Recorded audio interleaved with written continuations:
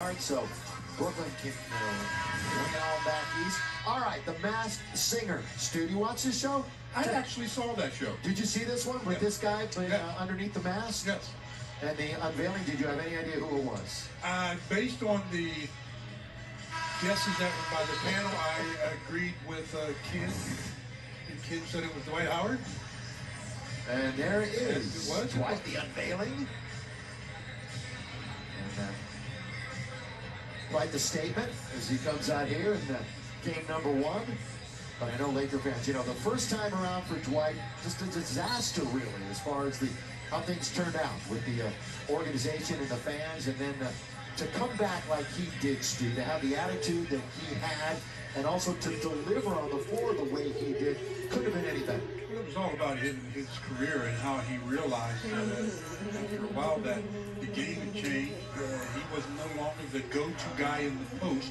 He had to be more of a role-type player that did certain things. And he came back and he did those things very, very well.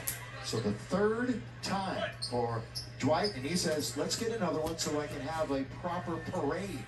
I think that's what everybody's kind of hoping for as the season begins. The Lakers tied with Boston, the Celtics, 17 championships.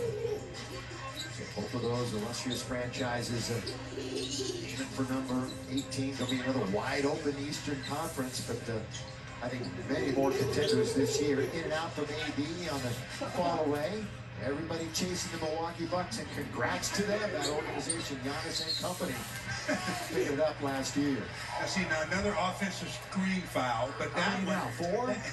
at least. But that one was not the fault of Claxton. That's the ball handler. If you got a big come in to set a screen, wait till he gets set before you start moving because you're moving, he's moving. It's going to go on him. These two teams will play Christmas Day in the uh, marquee a game late afternoon, 5 o'clock here at Staples Center. Ellington, now what a count, and he's going to go the line and shoot three. He's got just a sweet, sweet shot. Bruce Brown picks up the foul. One of the things you don't want to do defensively is foul three-point shooters. He got all of the body of Wayne Ellington, so Wayne will go to the line for about a half an hour and wait for three free throws. Well, when Wayne was with the Lakers uh, back in 2014-15, he actually led the team in three-point percentage. Nine different NBA squads he's uh, been on. And, you know, it's, it's one of those guys, that shot will travel. And that's exactly what Wayne's got it for. Uh, on that, here's Mike Trudell. Yeah, Billy. So Wayne Ellington's role this year is certainly going to be interesting to see. He starts tonight off the bench, but there is a school of thought to think that he would be a nice fit alongside, uh, particularly for his shooting, right, of Anthony Davis and LeBron James and Russell Westbrook. Uh, but tonight, of course, Bazemore got to start maybe a bit of an advantage on the defensive end there. And then the other big question is, what are they going to do with the center spot? Tonight, DeAndre starts. Anthony Davis has floated the idea that there could be some games in which he starts. So uh, some questions, guys, and, that's what the preseason is for, right? So uh, we're going to see how these things come together, and they'll get a better idea probably by the fifth game what the lineup's going to look like. Absolutely. That's what the preseason is all about. And then you mentioned the fact that Anthony Davis is going to possibly play a lot more in the middle at the five. Uh, it's not like it was in the old days when you took a beating and when you're defending bigger guys. And defend, nobody posts up take Listen. any kind of a physical beating. As you know, there's so much positionless basketball now in the NBA. The defined roles are certainly not what it used to be as AD had position and Claxton was in trouble and he picks up the foul. And look at that easy hoop. Why the net's off the dribble. It's something the Lakers going to have to have see as the preseason keeps going on. The, the defensive principles will continue to evolve and they'll get better uh, defending off the dribble. Yeah, it was Bruce Brown. Remember in game three against Milwaukee? He had a great game, double-double, 16 and 11. He actually had five postseason starts for Steve Nash and the Nets. As AD, you know, throughout the course of the career, he's been a really good free throw shooter. But remember last year early on, Yeah. he really had his struggles to begin the season from a lot. It's all mental. I, I still say it's all mental. You got to go up to that line you, and you got to know you're going to knock it down. If there's any doubt in your mind, it's going to show. He averaged nearly 22 points, 8 rebounds, a little over 3 assists, shot 74% from the line last year in his 36 games that he played. Again, had that groin injury that forced him out of the playoffs.